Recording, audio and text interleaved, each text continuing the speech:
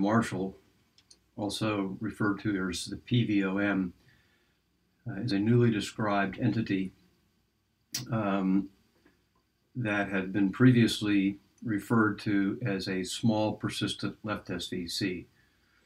So it, it's a relevant difference uh, for the implanting physician. So on the left, we have a small persistent left SVC um, where you have a normal CS os. The vein of Marshall um, connects to the coronary sinus at mid CS right near Vieussens' valve. So when you have the vein of Marshall connecting like this, we refer to it as a persistent left SVC. On the other hand, uh, on the right side, where you have CS atresia, um, you still have a vein of Marshall connecting the subclavian uh, to the coronary sinus in the same general area near Vieussens' valve.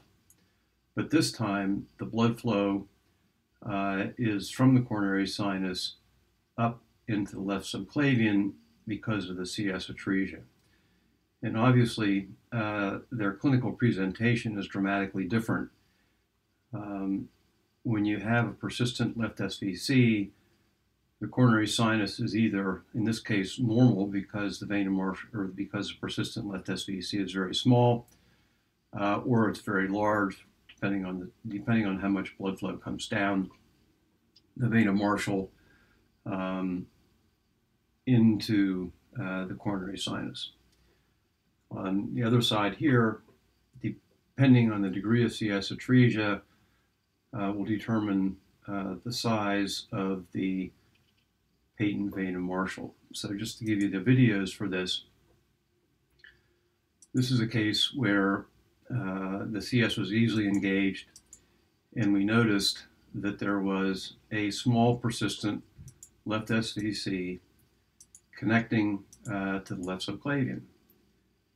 And that looks very similar to the situation uh, where you have CS atresia and you find this patent vein of Marshall. Embryologically, it's very, they're part of the same uh, embryologic sequence, but one, uh, the blood flow goes from the left subclavian to the coronary sinus, and in the other situation, the blood flow goes from uh, the coronary sinus uh, to the left subclavian. Hope you find this useful.